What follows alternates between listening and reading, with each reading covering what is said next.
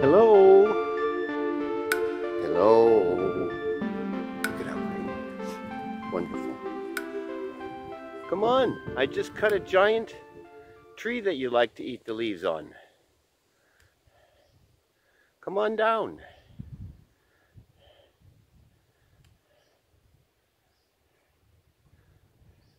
I just got some stuff up there too. I've been uh, delaying cutting these trees because the leaves are still on. It's not even uh, yellowing in some of them. Maybe a little bit, but not much. So I'd prefer to wait until the leaves are off so that I know the uh, there's less sap in the tree.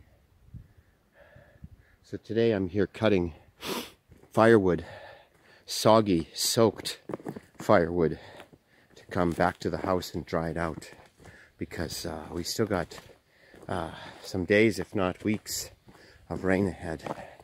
So nothing's going to dry out here. I don't know if you're following the clearing of this pasture, which was is called Carmen's pasture because it belongs to Carmen.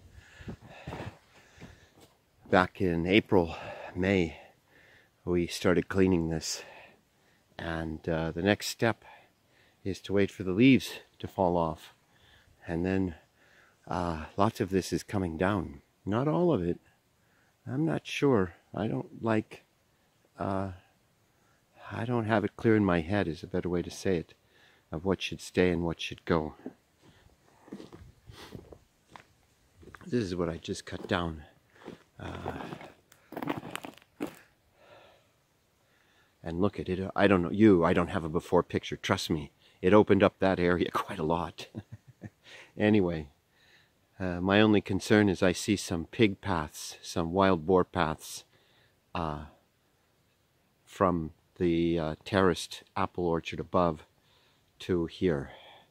That'll have to be dealt with at some point.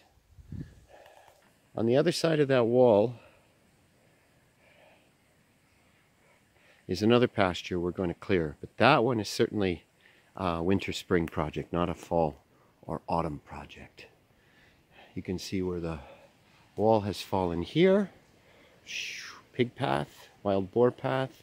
From there, here, here. Probably helped with the decay of the wall.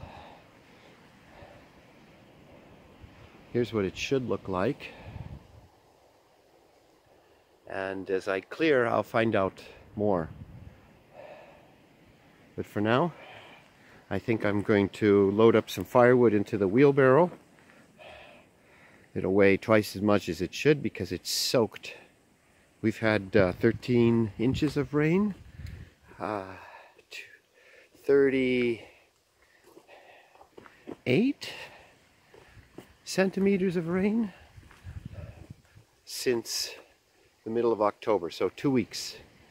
Two weeks, say conservatively 12. Uh, on the higher end, 14 inches of rain in two weeks.